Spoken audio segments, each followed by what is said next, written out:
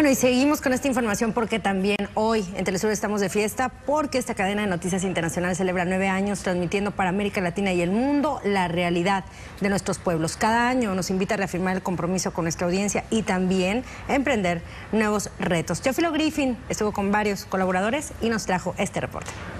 Sin más, de inmediato nuestros titulares acompañados. Desde sus estudios principales en Caracas, Venezuela, Telesur se ha convertido en la referencia informativa de la región. El proyecto concebido por Hugo Chávez y Fidel Castro se presenta en la pantalla como una vanguardia comunicacional.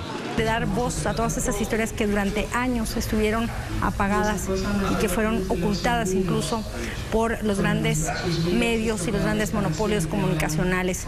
Iniciamos nuestro segmento de... Voces de distintos países se unen para transmitir hasta cada uno de los hogares de América Latina y el Caribe, la realidad de aquellos que por muchos años fueron excluidos por las tradicionales corporaciones informativas es reflejar la identidad de cada uno de nosotros y permitirnos aperturar el micrófono a gente que durante muchos años ha sido coartada en esa libertad de expresar lo que siente, lo que vive y apoyar lo que en verdad cree.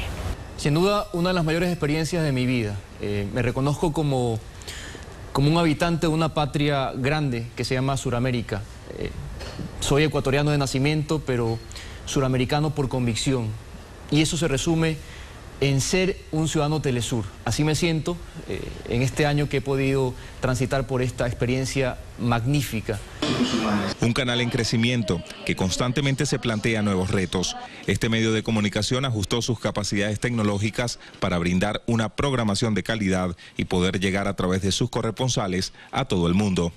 Una nueva página se escribe en la historia de esta cadena internacional que le continuará informando al mundo, ahora desde Telesur en inglés. Para este proyecto estratégico, Telesur trabajó sin pausa, con el propósito de hacer llegar la información a la población de habla inglesa, que ahora se materializa con el despliegue de corresponsales y la promoción de la comunicación multimedia. Es una oportunidad de demostrar al pueblo de los países donde hablan inglés que sí, otra realidad es posible porque aquí se está construyendo. Ahora alcanzamos este gran sueño, Telesur en inglés, democratizando la comunicación, llegando a mayor cantidad de usuarios. Y eso nos lleva a hacer una retrospectiva de lo que fue nuestro primer eslogan. Vamos a conocernos. Ahora, vamos a conocernos en otros idiomas. En su noveno aniversario, Telesur refuerza el concepto original de su creación, que se enfoca hoy más que nunca en la integración latinoamericana, mientras sigue trabajando en coberturas informativas para llevar hasta los hogares la realidad en voz de los pueblos. Teófilo Griffin, Telesur, Caracas, Venezuela. Y el gobierno